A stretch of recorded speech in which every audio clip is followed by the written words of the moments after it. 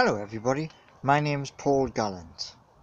Now, just found out that Newcastle Falcons are playing tonight. They're playing away at a team called Gloucester. And this is in the semi-finals of the European Challenge Cup.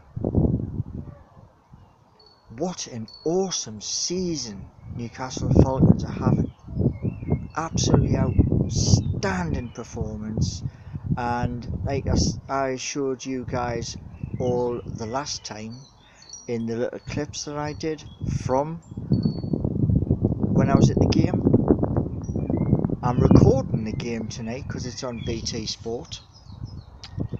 Now the thing is, I would absolutely love it if they can get to the final because that would be outstanding. To Dean Richards and to all the lads who are playing tonight, my fingers are crossed that you go all the way. I really do. my heart is pumping now because I want you to go all the way I'd like you to basically to win all the way through to the end of the season now which isn't long so that you can go into the final four games.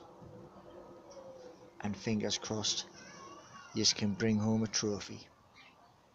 That would be absolutely amazing for the city of Newcastle.